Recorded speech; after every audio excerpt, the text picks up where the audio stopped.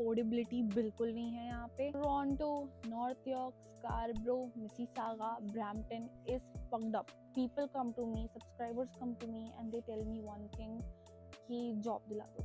अब welcome back to this channel guys ये video मुझे इतने टाइम से बनाना था because this is about reality check no negativity nothing just reality check what I have experienced और जो मुझे बहुत टाइम से बोलना था but it is controversial but this is the truth don't come to Toronto GTA areas it is too over government भी realise कर चुकी है। इंस्टेबिलिटी है इकोनॉमी में जीटीए की स्पेशली एंड जितने भी ये जॉब्स की लाइन सब कुछ आपको दिख रहा है, ये सब जीटीए में होता है।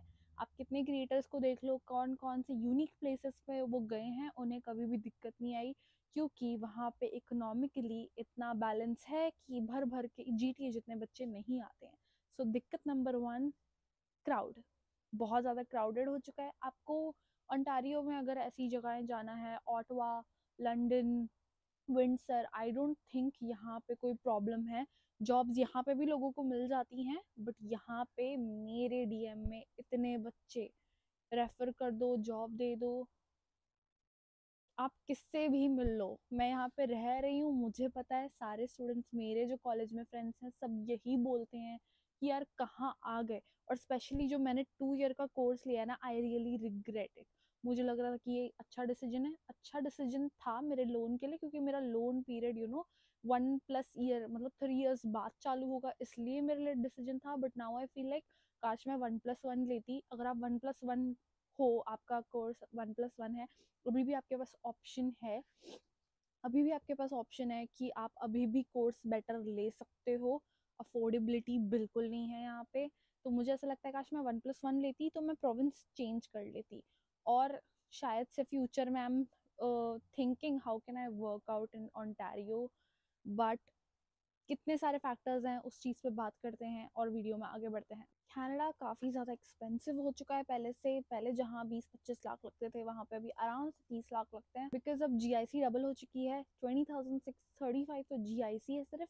प्लस अभी आपको कोई अच्छा मास्टर्स लेके आना है यूनिवर्सिटी में, क्योंकि उसे ज़्यादा प्रेफरेंसेस और पीआर ज़्यादा इजी हो चुकी है उन चीज़ों से और प्लस आपको पब्लिक कॉलेज में ही आना है।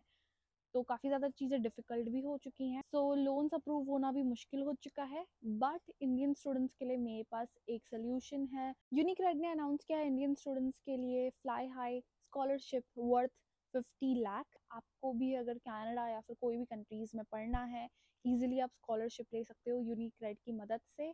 800 करोड़ इनने डिसबर्स कराए हैं। 5000 प्लस स्टूडेंट्स को इनने लोन दिलाया है और इनका user base three million students का है। इमेजिन दिस कि आपको non collateral without giving any property papers आपको non collateral hundred percent financed loan मिल रहा है up to one point five C R and that too all of it is digital and from your door steps so Canada के लिए loan चाहिए scholarship चाहिए check out my description and sign up with unique red Toronto North York Scarborough Mississauga Brampton is fucked up मैं सच्ची बता रही हूँ, मैं रोज़ ट्रैवल करती हूँ I get to know people people come to me subscribers come to me and they tell me one thing कि job दिला दो।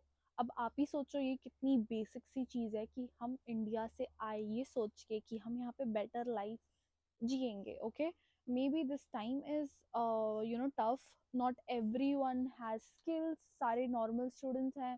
मेरा अच्छे से गुजारा हो रहा है, सब हो रहा है। No complaints but I have concerns about लोग जो ट्रूथ नहीं बता रहे कि ट्वेल्थ के बाद स्पेशली अगर कोई बच्चा आ रहा है स्टूडेंट आ रहा है, उन्हें कंसिडर करना ही नहीं चाहिए ओंटारियो क्योंकि लोग पता है यहाँ पे क्या करते हैं?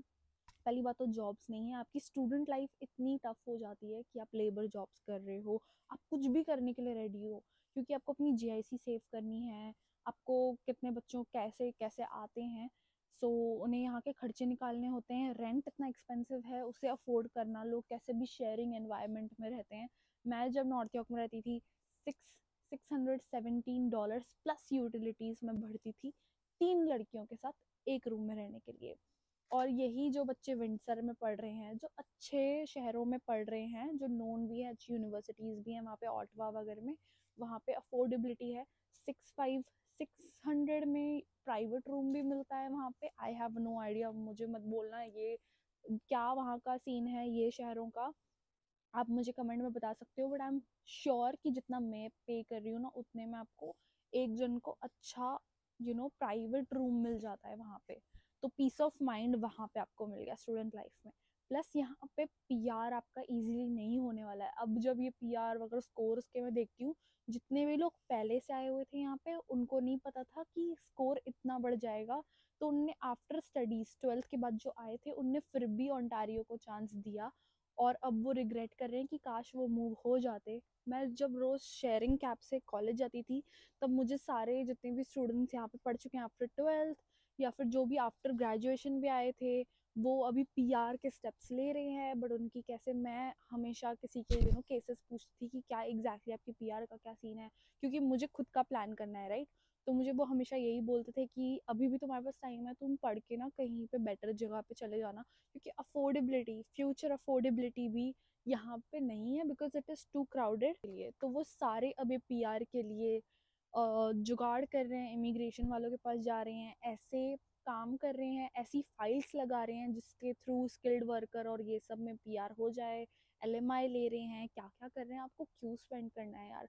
आप ऑलरेडी एक एक्सपेंसिव सिटी और एक्सपेंसिव लिविंग हुड में रह रहे हो इन योर स्टूडेंट लाइफ कैसे भी आप स्ट्रगल कर रहे हो और कंपटीशन इतना है इम्बैलेंस है ऑनटारियो जी टी ए में स्पेसिफिकली तो आपको क्यों अपनी लाइफ टफ करनी है? अगर आप न्यू आ रहे हो, आपके पास अभी भी चांस है चेंज कराने का आई वुड जस्ट सजेस्ट कि कोई ऐसी जगह पे जाओ जहाँ पे भीड़ भड़का नहीं है सिंपल मैं कोई चीज़ को प्रमोट नहीं कर रही हूँ।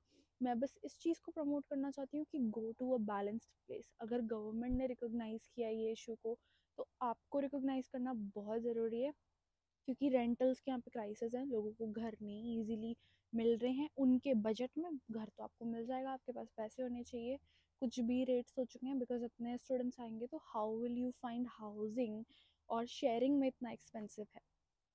Plus no jobs there is no jobs for student आप किसी भी स्टूडेंट से पूछ लो, अगर किसी को लगता है कनाडा में टोरंटो में जॉब्स हैं जितने भी लोग सीजनल काम कर रहे थे, उनको ले ऑफ़ कर दिया था। दो महीने, डेढ़ महीने लोगों ने काम किया, उसके बाद कुछ काम नहीं किया है। सीजनल यहाँ पे वेव चल रहा है। एक चीज़ जो मैंने रियलाइज़ की है यार टोरंटो बहुत ज़्यादा ओवरहाइप्ड है। मतलब आप दो तीन बार जाओगे टोरंटो में नीथन फिलिप्स घूम लिया सी एन घूम लिया नाइग्रा फॉल्स चले गए, वो तो बहुत दूर है, कितने बसेस पकड़ के जाओगे। स्टूडेंट लाइफ में आप वैसे भी घूमने का आपके पास टाइम नहीं होता है। तो जो लोग, मैं ये सोच रही थी कि टोरंटो में you know it's very lively but lively का क्या करना है? अगर आपके पास आप लाइफ स्टाइल आपके अफोर्ड नहीं कर पा रहे हो। So go to a city maybe if you want I can make a good research video on video N P but मैं सीधे सीधे बोल रही हूँ पी एन पी वाले ऑप्शन में। ट्वेल्थ वाले students please P N P में ही जाना। Because there is no point कोई लॉयर को पैसे देने का, बाद में जुगाड़ करने का, कि कैसे पी आर करनी है टेंशन लेने का, बाद में मूव होने का स्टूडेंट लाइफ अपनी uneasy banana no point and Canada Ontario से अगर आप निकाल दो तो बहुत ज़्यादा ब्यूटीफुल है. बीसी देख लो नोवा स्कॉशा देख लो प्रिंस एडवर्ड आइलैंड देख लो, कहीं पर भी देख लो, जहाँ पे आपको इजी पीआर मिल रही है. स्टेप बाय स्टेप लो, बाद में मूव हो जाना but for initial few years it's not a practical decision for you to be obsessed with toronto just like people have been but now it's time to think practical and actually take decisions जो आपको student life में और starting के four five years में sustain कर किसी की भी कमाई बहुत ज़्यादा होनी चाहिए अगर वो इमेजिन कर रहा है खुद को चार पाँच साल में यहाँ पे घर लेना मेन जी में सो so, अगर आप स्टूडेंट लाइफ में ही ऐसी जगह पे जाओगे जहाँ पे आपके धीरे धीरे कॉन्टैक्ट्स बन रहे हैं जहाँ पे घर अफोर्डेबल है स्टिल आप स्टूडेंट लाइफ के बाद तीन दो तीन साल बाद प्लान कर सकते हो वो सारी एरियाज़ में जाने का प्लान करो जहाँ पे धीरे धीरे क्योंकि यहाँ पे आके फिर से मूव होना फिर से वहाँ पे कॉन्टैक्ट्स बनाना इज़ नॉट मेकिंग सेंस सबसे अच्छा स्टार्टिंग से वहाँ से स्टार्ट करो जहाँ पे आपकी कॉन्टैक्ट्स बने फिर आप वर्क लाइफ में भी जाओ तो you find referrals you build that life there and that makes it easier कोई भी न्यू प्लेस पे then coming to Ontario G T मैं बस ओंटारियो को रिकमेंड करना स्टार्ट कर दूँगी जब सारे स्टूडेंट्स को जॉब यहाँ पे इक्वली मिलनी, जो ऑलरेडी यहाँ पे एग्जिस्ट करते ना, सबको जॉब्स मिल जाए तो मैं बोल, एक वीडियो बना दूँगी कि ओंटारियो में आ जाओ। But if the problem is not solve there is a problem so find good colleges अच्छी मास्टर्स डिग्री लो। एज वी नो तीन साल का वर्क परमिट अभी मिल रहा है। मास्टर्स डिग्रीज को ज़्यादा प्रेफरेंसेस है ओ आई एन पी में भी ऑन्टारियो में भी आ रहे हो तो कुछ कॉलेजेस आपको मास्टर्स में भी नॉमिनेशन देते हैं, अगर आप अच्छे कॉलेज से करते हो, या तो ऐसी चीज़ें करो जहाँ पे अगर आपको पता है आपका नॉक है then you come to this place and you are sure कि आपको इसमें पी मिलेगी। और else go for P N P option specially twelfth वाले ऑनटेरियो में बताओ। स्पेशली जी टी ए में और नॉन कॉम्पिटिव प्लेसेस में जाओ रिसर्च करो अगर आपको कॉलेज चेंज करना है me and my team can help you out you can contact on this given number अगर आपको कोई जेन्यून नहीं मिल रहा है और आप वन प्लस वन में भी कन्फ्यूज़ हो I can help you out with that so या मिलते हैं नेक्स्ट वीडियो में. Make sure you subscribe and let me know your thoughts in the comment section below because अगर आप कोई भी दूसरे प्रोविंस में भी रहते हो वहाँ की रियलिटी चेक आपको देना है तो वीडियो में आप दे सकते हो. सो so, या मिलते हैं नेक्स्ट वीडियो में. बाय